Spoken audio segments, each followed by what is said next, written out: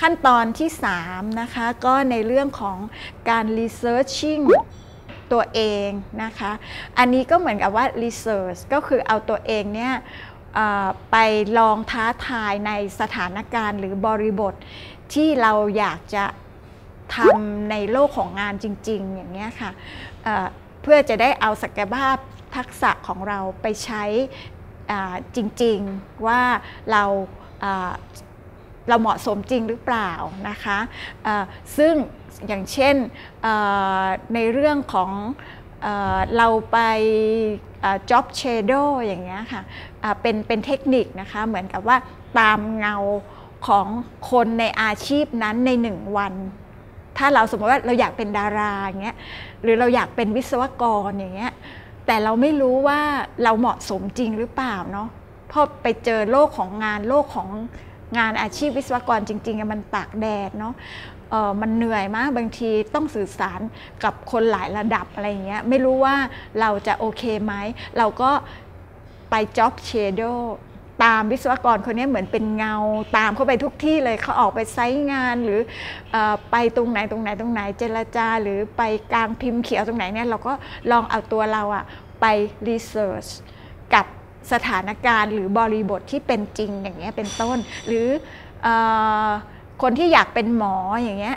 อยากเป็นพยาบาลอย่างเงี้ยไม่รู้ว่าเราจะทนได้ไหมเผชิญได้ไหมกับภาวะหลาย ๆ อย่างในโรงพยาบาลเนาะก็ไปเป็น job shadow อย่างนี้เป็นต้นนะคะ หรือการออกสหกิจศึกษาที่เราบอกว่าไปฝึกงานเนี้ยเอาตัวเองไปอยู่ในที่ทำงาน ไปมีประสบการณ์ตรงกับการทำงานกับผู้คนในลักษณะงานต่างๆ อย่างเงี้ยเราก็ถือว่าเราเอาตัวเราไป researching แล้วก็พอกลับจากสังกิจปุ๊บ เราก็จะได้คำตอบเลยว่า เออใช่แล้ว ที่เราอยากเป็นวิศวกรแบบนี้แหละ เราทนได้ หรือเออเราไปเป็นนักธุรกิจได้ ไปเป็นนายธนาคารได้ เพราะเราเอาตัวเองไปสัมผัสมาหมดแล้ว อันนี้ก็คือการ researching ตรงนี้ก็จะได้คำตอบกลับมาเนาะแต่ถ้าไปแล้วมันไม่โอเคอย่างเงี้ยแปลว่าเราต้องคิดกลับมาทบทวนแล้วเนาะว่าเรายังอยากจะทำงานในลักษณะนี้ไหมมันไม่สอดคล้องกับศักยภาพความสามารถบุคลิกลักษณะของเราเนาะแต่ถ้ามันเลือกไม่ได้ เราก็จะต้องปรับ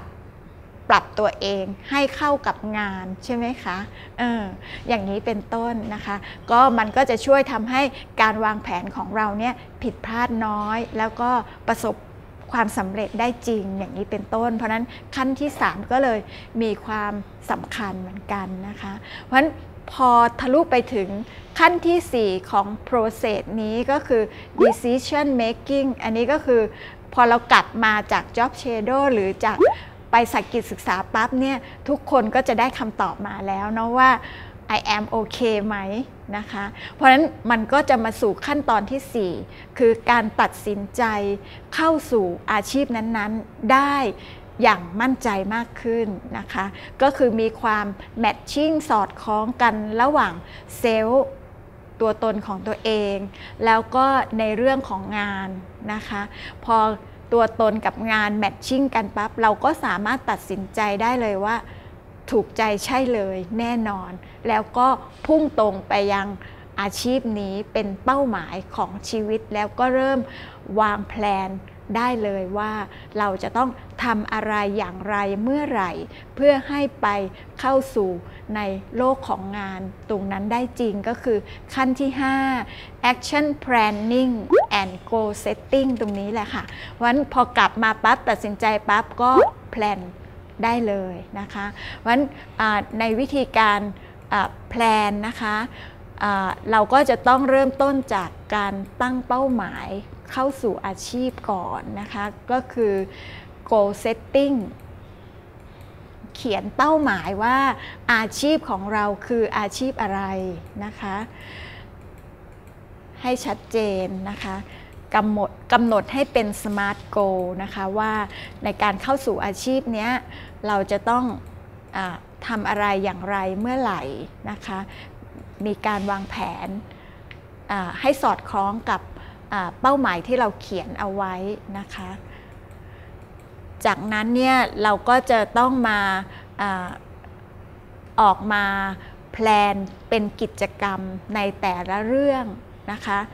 ตั้งแต่ขั้นที่ 1 2 3 4นะคะ และแต่ละขั้นเนี้ยเราจะต้องทำอะไรบ้างเมื่อไหร่นะคะ มันก็จะอยู่ในเรื่องของอ planning action planning ของเรา ซึ่งก็จะมีตัวอย่าง ให้ผู้เรียนได้ได้เห็นนะคะ แล้วก็ลองเอาไปวางแผนจัดการตัวเองดูนะคะ